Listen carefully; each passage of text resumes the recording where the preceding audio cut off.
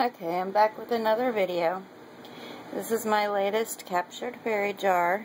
Finished it last night. Um, I'm not crazy about the picture in there, but that was a picture given to me. Um, and I was told to make it red. So, went ahead and did red and purple. And I thought the yellow was pretty. I thought it just gave it a little pop, so I went ahead and put some yellow in there. Um, I used uh, Wild Orchid Craft Flowers. And there's the nightlight part of it. Tea light. Let's see.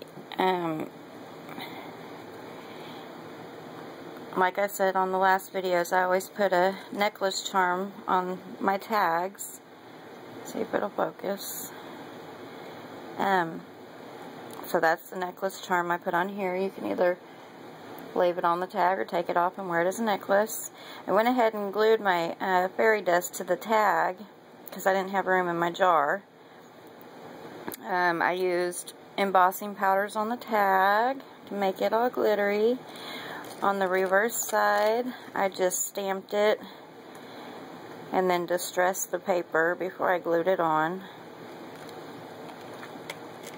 with a little um, note about them.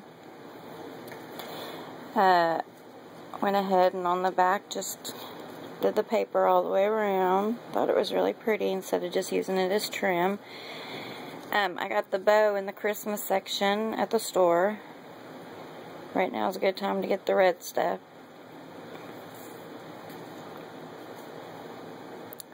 Uh, like I said, I wasn't crazy about the picture, but that was the picture given to me, so I just painted their clothes and stickled them. So, tell me what you think. Leave me a message, leave me a comment.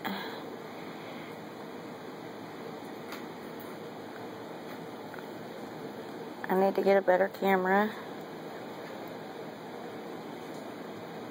There you go, my latest jar.